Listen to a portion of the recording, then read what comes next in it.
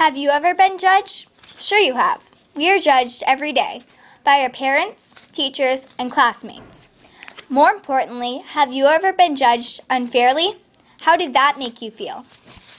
Good morning. My name is Kayla Fadiman, and I'm running for the opportunity to serve as your Enterprise City Judge. I would like to start by telling you a little about me.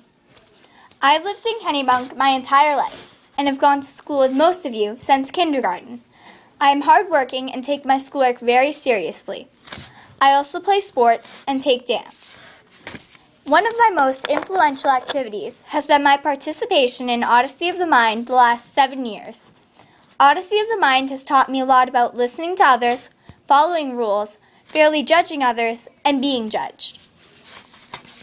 I believe that I will be a good judge because I will collaborate well with the mayor and city attorney to determine fines and penalties.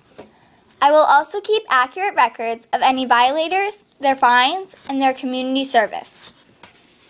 Before voting, please consider the type of person you want as your judge. You want someone who will listen to all sides impartially, someone you can trust, who will be decisive, who is ethical and honest. I can be that judge. You were born to vote.